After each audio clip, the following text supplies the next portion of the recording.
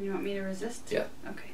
Okay, how's that? You can see I can pull it pretty easily, aside from just gonna So, we get our baseline, we can see that on two fingers I can easily pull Jenny's arm.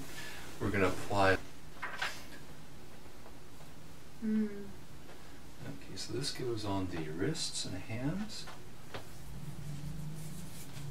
Put on both of them, like so.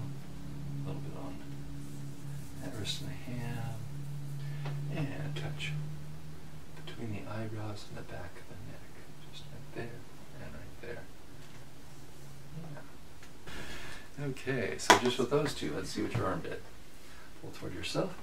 And we've already got a full hand and four fingers to move it at least 30% of my strength. Grief. First one was for irritability, turning up the rest and repair and turning down fight or flight. Now we're going to try that one. How's that one smell? Mm-hmm. Okay, this one goes more on the thumb side. Should cover the whole hand of the color. You can kind of feel that spot right there. Mm-hmm. Mm-hmm. Yeah. So, large intestine issues.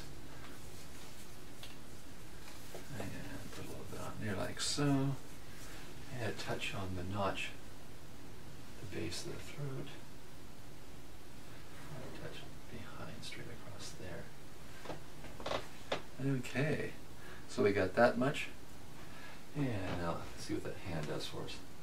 Oh yeah, huh? Mm-hmm. get a bit more. And now this is the one specifically when we tested and pushed the arm forward. See that guy right there? It's a Mhm. little less tender, but it's, it's still Mhm. there. Mhm. So that's for the heart and small intestine. That thing. Mm-hmm. Yeah. So this goes along there pretty nicely. Catch the whole hand. And touch right here. Can you make me a little appropriate? Great. Thank you.